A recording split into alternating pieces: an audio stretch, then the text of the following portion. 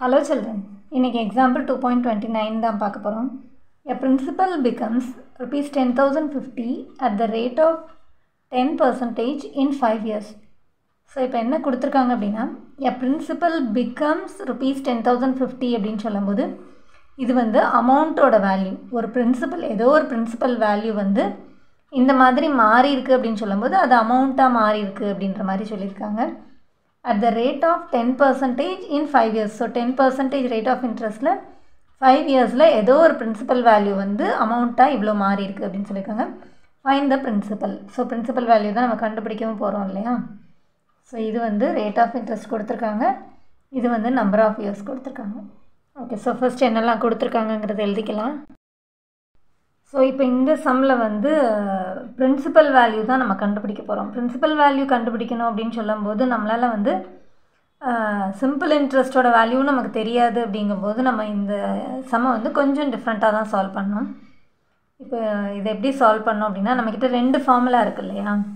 Simple interest கண்டுபிடிக்கிறதுக்கு ஒரு formula இருக்குது simple interest is equal to PNR by hundred அப்படிங்கிற ஒரு ஃபார்முலா இருக்குது அதே போல் அமௌண்ட் கண்டுபிடிக்கிறதுக்கு ஒரு ஃபார்முலா இருக்குது பிரின்சிபல் ப்ளஸ் சிம்பிள் இன்ட்ரெஸ்ட் அப்படின்னு ஸோ இப்போ இந்த ரெண்டு ஃபார்முலாவையும் நம்ம கம்பைன் பண்ணி பிரின்சிபல் வேல்யூ கண்டுபிடிக்கிறதுக்கு அது ஒரு புது ஃபார்முலா நம்ம க்ரியேட் பண்ண போகிறோம் எப்படின்னா இப்போ இந்த சிம்பிள் இன்ட்ரெஸ்ட் இருக்கிற இடத்துல இந்த ஃபார்முலாவை யூஸ் பண்ண போகிறோம் so A is equal to P plus இந்த ஐக்கு பதிலாக பிஎன்ஆர் பை ஹண்ட்ரட்னு எழுதிக்கிறோம்.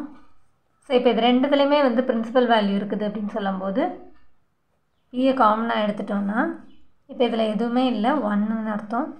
ப்ளஸ் இதில் பி எடுத்தது போக என்ஆர் பை ஹண்ட்ரட் அப்படின்னு அர்த்தம்.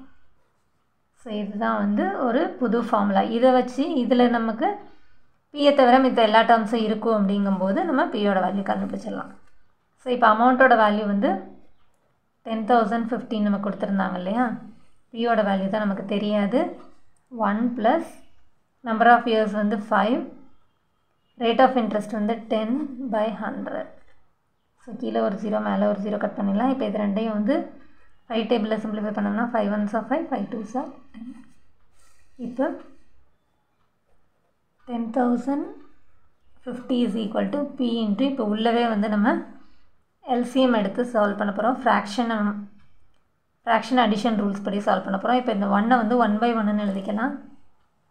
ஸோ இப்போ இதை ஃபஸ்ட்டு ஒரு தடவை எழுதிக்கலாம். ஒன் பை ஒன் ப்ளஸ் இது வந்து one by two so ten thousand fifty is equal to P into fraction additional rules படி ரெண்டும் வேறு வேறு டினாமினேட்டர் இருக்கும்போது ரெண்டுக்கும் எல்சியம் எடுக்கும்போது ஒன்றுக்கும் டூக்கும் எல்சியம் எடுத்தோம்னா டூ தான் எல்சியம் ஸோ இந்த ரெண்டு டினாமினேட்டரையும் டூ வர மாதிரி கன்வெர்ட் பண்ணணும். ஸோ ஒன்னை எதால் மல்டிப்ளை பண்ணும்போது டூனா one two are two so அதே டூவால் மேலேயும் மல்டிப்ளை பண்ணிக்கிறோம். இங்கே டூ தான் இருக்குன்னா இன்ட்டு ஒன் பண்ணாலே போதும்.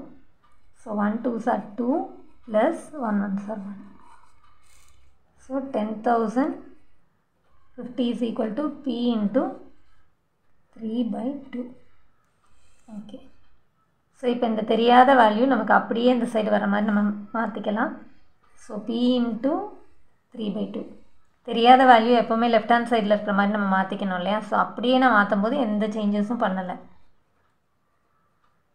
ஓகே இப்போ தான் வந்து இந்த பியை தவிர மிச்சம் எல்லா டேர்ம்ஸையும் நான் அந்த சைடு மூவ் பண்ண போகிறேன் so P is equal to ten thousand fifty into equal டுக்கு பிஃபோரில் இருக்கிற ஃப்ராக்ஷன் வந்து ஈக்குவல் டுக்கு ஆஃப்டரில் வரும்போது ரெசிப்ரோகேட் ஆகும். ஸோ த்ரீ பை டூ வந்து டூ பை த்ரீயாக மாறிடுது.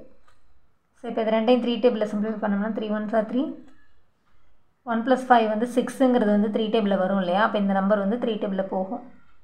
So three threes are nine remaining one திரும்ப three threes are nine remaining one three five are fifteen அப்புறம் zero So this is equal to 0, 2 5s are 10, 1, 2 3s are 6, 7, 2 3s are 6. So the required answer P is equal to rupees 6700. That's all. Thanks for watching children.